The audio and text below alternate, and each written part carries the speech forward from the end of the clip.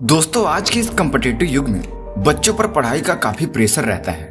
लेकिन यह ज़रूरी नहीं कि हर बच्चा चीज़ों को उतना ही जल्दी और बेहतर तरीके से समझ पाए। दुनिया का हर एक बच्चा अलग होता है और इसीलिए उसका आईक्यू लेवल भी अलग होता है। पर आजकल सभी स्टूडेंट का एक सवाल होता है कि आखिर हम अपने किसी भी कमज़ोर सब्जेक्ट को कैसे स्ट्रॉन्ग करें और कैसे हम अपने अवचेतन मन तक इस बात को आसानी से पहुंचाएँ, जिससे हमारा वो कमज़ोर सब्जेक्ट स्ट्रांग हो जाए। दोस्तों यदि आप एक स्टूडेंट हो या फिर पेरेंट्स हो तो आज की यह वीडियो आपके लिए बहुत ही ज़्यादा हेल्पफुल होने वाली है। इस मेरा आपसे रिक्वेस्ट है कि आज इस वीडियो को आप लास्ट तक ज़रूर देखना, और अगर वीडियो अच्छी लगे तो हमारे इस चैनल को सब्सक्राइब ज़रूर करना। तो आइए, सबसे पहले हम ये जानते हैं, कि आखिर हमारा कोई सब्जेक्ट कमज़ोर क्यों हो जाता है? हम सभी को एक बात माननी पड़ेगी कि सभी व्यक्तियों का आईक्यू लेवल अलग होता है, और चीज़ों के बारे में सोचने समझने की क्षमता भी अलग ही होती है। लेकिन हम सभी के साथ जो सबसे बड़ी गलती की जाती है, वह है उसे एक्सेप्ट करना। दोस्तों according to the science regular practice से हम अपने ब्रेन पावर यानी अपनी आईक्यू लेवल को काफ़ी हद तक बढ़ा सकते हैं।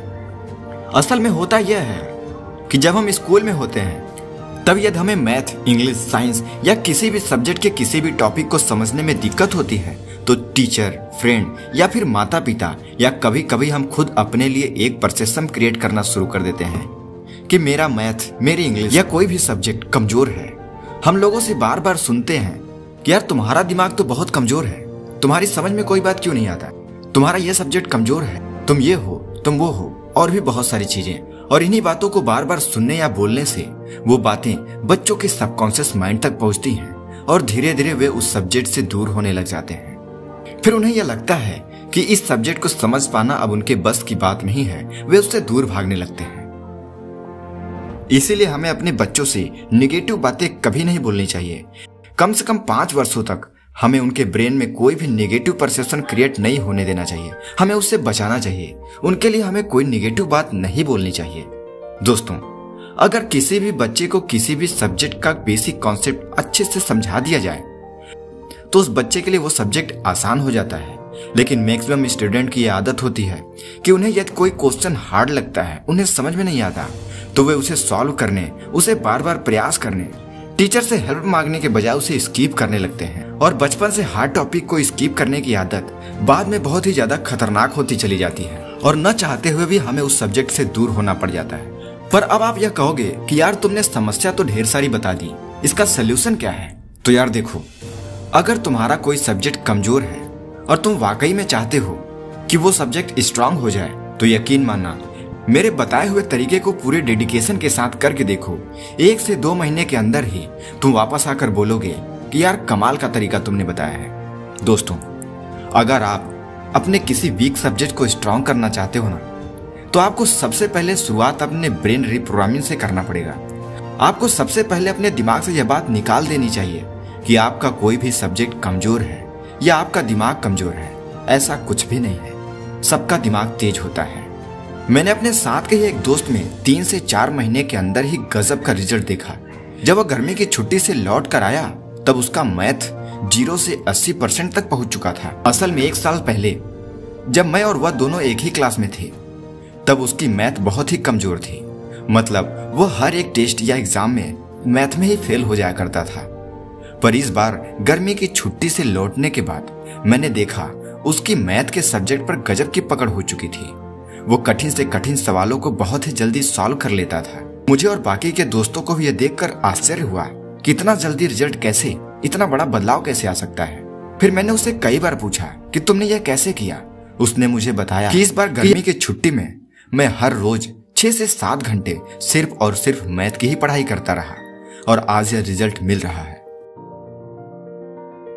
दोस्तों, आप अपनी लाइफ में अभी तक एक दोहा तो ज़रूर सुना होगा कि करत करत अभ्यास से जड़मत हो सुजान, रसरी आवत जात से सिलपड़ पड़त निशान। यानी, जिस प्रकार कुएँ की जगत के पत्थर पर बार बार रस्सी के आने जाने से निशान पड़ जाता है, उसी प्रकार लगातार अभ्यास से अल्प बुद्धि, कमज़ोर बुद्धि वाला व्यक्ति भी सुजान, यानी ज्ञानी बन जाता है।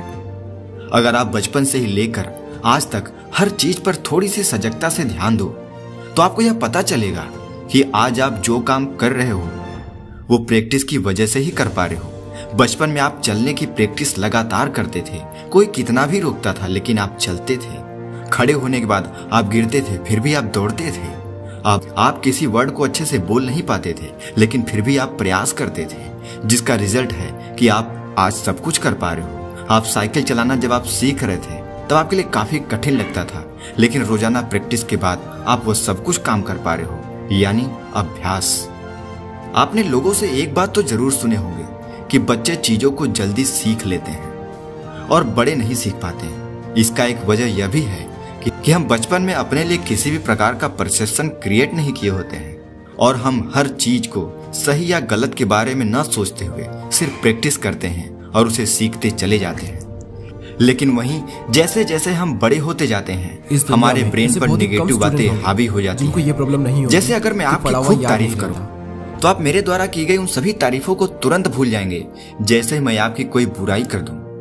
आप किसी के द्वारा किए गए तारीफ़ से उतना ज़्यादा प्रसन्न नहीं होते जितना किसी के द्वारा निगेटिव बात बोलने पर दुखी हो जाते हो। अगर आप अपने वीक सब्जेक्ट को स्ट्रांग करना चाहते हो तो आपको उस सब्जेक्ट के बारे में इस बात को दिमाग से निकाल देना चाहिए कि वह सरल है या कठिन है। आपको सिर्फ़ प्रैक्टिस करनी चाहिए। आपको अपने लिए परसेप्शन चेंज करना पड़ेगा कि आपका वह सब्जेक्ट कठिन है। आपको चुपचाप बस उसकी प्रैक्टिस करनी है। आप हर सब्जेक्ट को जितना पढ़ते हो, उससे ज़्यादा इसके बारे में ध्यान दो। कोई भी टॉपिक अगर आपको कठिन लगता है इंटरनेट की मदद लो टीचर से पूछो, हर तरीके से उसे सॉल्व करो और जैसे ही उसका सोल्यूशन मिल जाए, उसी प्रकार के और भी सवाल को सॉल्व करने का खूब प्रयास करो। देखो रिज़ल्ट आपको तुरंत ही मिलेगा। वैसे भी आज के समय में आपके पास इंटरनेट है, जिसके द्वारा आप हर चीज़ को बड़ी आसानी से घर बैठे बैठे ही सीख सकते हो। आपको इंटरनेट पर यूट्यूब पर हज़ारों टीचर्स मिल जाएँगे। जो आपके हर एक सवाल का जवाब दे देंगे।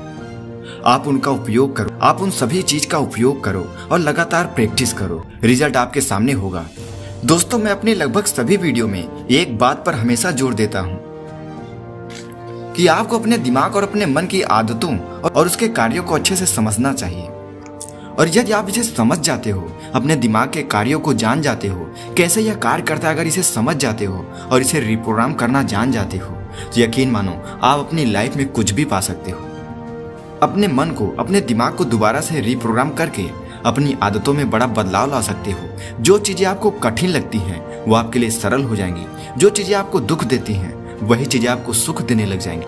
बस सब कुछ दिमाग का खेल है। इसे समझना चाहिए। और अगर आप इसे जानना चाहते हो, इसे सीखना चाहते हो तो अभी हमारे इस चैनल को सब्सक्राइब करो। और अगर यह जानकारी आपको अच्छी लगी हो तो इस वीडियो को लाइक करो और ऐसे ही लाइफ चेंजिंग वीडियो पाने के लिए हमारे चैनल को सब्सक्राइब करो। तब तक मिलते हैं अगले इन्फॉर्मेटिव वीडियो के साथ। नमस्कार।